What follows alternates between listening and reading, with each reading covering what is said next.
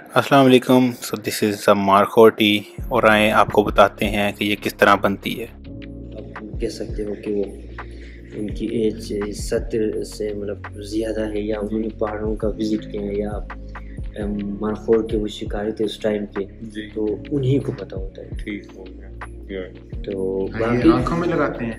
जी जी sir ये सब ये पुराने ज़माने में सर ये जो है ना अपना ये जो पत्ते इस पत्ते ये ये ग्रीन अभी जो है ना ये ये बिल्कुल ड्राई हुआ है। ये जब ये ये सब्ज होता है तो इसके पीछे आपको नज़र भी आ रहा है सर यहाँ से ये वाइट कलर में ये देख सर हाँ। जी। जी सर तो ये जो है ना ये आँखों में जो है ना हमारे अबा कहते हैं कि वो लगाया करते थे। हम्म, उस टाइम कोई मेडिसिन नहीं था। लेकिन अल्लाह पाक ने इसमें बहुत शिफा रखी है। और उनकी बिनाई जो है वो बिल्कुल वो थी सही थी उनकी। तो ये उनका ये तीन चार तरह के फूल से ये भी फूल है। हम्म, ठीक है। और ये भी एक फूल है इसी के साथ। हम्म, ये भी फूल है और ये भी एक फूल है। तो ये मतलब आप इसको कह सकते हो कि ये ग्लेशियर का हुआ। ग्लेशियर? ग्लेशियर का जो ये ये फ़िल्म जो है ना ग्लेशियर का। तो ये मतलब अठारह हज़ार से मतलब मतलब कहते हैं कि जो है ना मतलब सत्रह सौ मतलब से अठारह हज़ार की फीट पे पाई जाती है। हम्म, ये मतलब इससे नीचे मतलब कहते हैं मुमकिन ही नहीं। हम्म।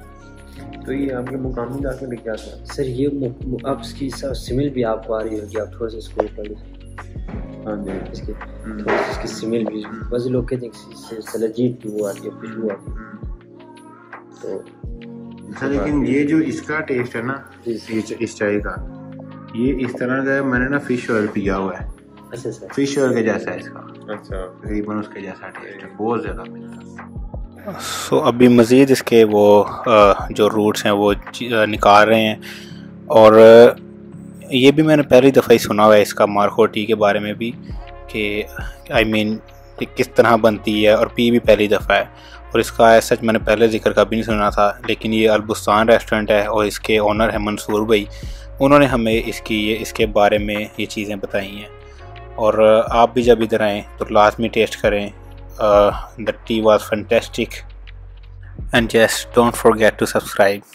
Thank you. Allah hafiz.